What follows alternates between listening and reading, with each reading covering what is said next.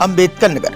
तीन नगर पालिकाओं समेत तीन न्याय पंचायतों में शपथ ग्रहण समारोह सकुशल संपन्न। नगर निकाय चुनाव के बाद शपथ ग्रहण समारोह का कार्यक्रम अंबेडकर नगर ज़िले की तीन नगर पालिकाओं और तीन न्याय पंचायतों में बारिश के व्यवधान के बावजूद सकुशल संपन्न हुआ। सबसे पहले अकबरपुर नगर पालिका में चंद्र प्रकाश वर्मा को उप जिलाधिकारी पवन जायसवाल ने अध्यक्ष पद के लिए पद एवं गोपनीयता की शपथ दिलाई। चंद्र प्रकाश वर्मा ने कहा, अकबरपुर नगर पालिका क्षेत्र का चौमुखी विकास होगा। टांडा नगर पालिका क्षेत्र से शपथ ग्रहण समारोह में पुलिस प्रशासन टांडा सीओ व सीओ भीटी टांडा कोतवाल थाना अलीगंज, एसएचओ सहित पुलिस प्रशासन की कड़ी सुरक्षा व्यवस्था के बीच शपथ ग्रहण समारोह आयोजित किया गया। उप जिलाधिकारी दया शंकर ने नवनिर्वाचित अध्यक्षा सवाना नाच को संविधान के प्रति मन से निष्ठा एवं ईमानदारी से कार्य करने की शपथ दिलाई।